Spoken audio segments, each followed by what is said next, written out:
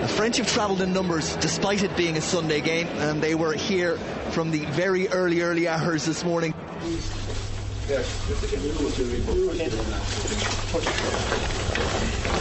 If someone's walking, if someone isn't filling the gap, you get on his case, you say it him. If I fucking walk and I want to hear it. Listen to me now, listen to me. I want them standing back thinking what the fuck is going on here.